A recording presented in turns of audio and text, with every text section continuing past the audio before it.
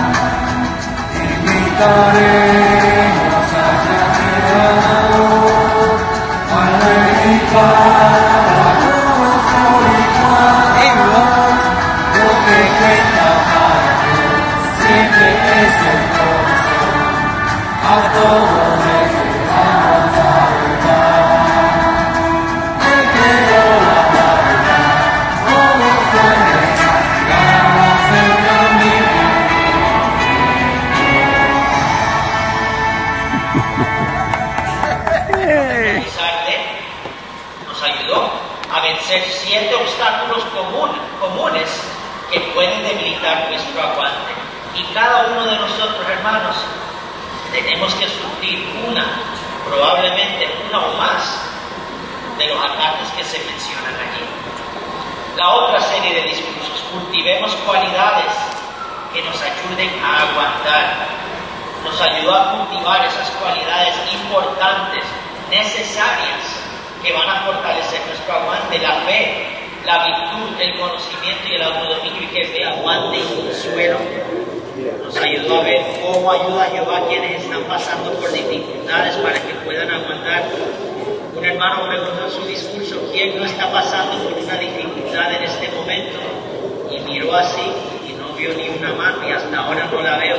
Porque todos, hermanos, estamos pasando débiles, deprimidos, necesitados, huérfanos o mayores. Algunos de nosotros estamos pasando por una o más de. Pero cómo Jehová nos ayuda para que podamos aguantar a pesar de estar pasando por algo como eso. Es la segunda serie, edifiquemos una casa que aguante. ¿Cómo es que podemos ayudar a nuestra familia a aguantar? Porque ayudamos a tanta gente en la predicación de las buenas nuevas.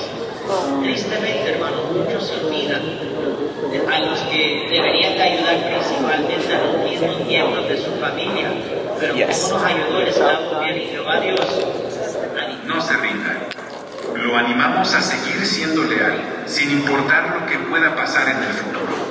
Así se cumplirá en cada uno de nosotros la última parte de Gálatas 6:9. Al debido tiempo segaremos, si no nos cansamos. Estamos tan convencidos de la importancia de que todos fortalezcamos nuestro aguante que las dos asambleas de circuito de este año tendrán títulos relacionados con este tema. No se rinda, siga cumpliendo la ley de Cristo. Y no se rinda, siga haciendo lo que está bien. Ah, sí, algo más. Ya hablamos de las primeras dos cualidades, la lealtad y el aguante. ¿Cuál creen que será la tercera cualidad que se destacará después de la lealtad y el aguante? El valor. Así que no se lo pierdan. Mientras tanto, queridos hermanos y hermanas, el cuerpo gobernante quiere que sepan que los queremos mucho y que oramos por ustedes todo el tiempo. Recuerden, el fin es inminente. No debemos rendirnos, y mucho menos ahora.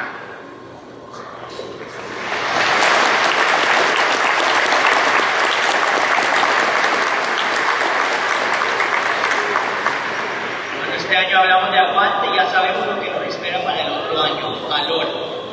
Estamos listos para demostrar esa bella cualidad. Además, hermanos, pensemos en las bellas recompensas que esperan a los que no se rinden, como dice el título de esta asamblea, a los que aguantan a pesar de...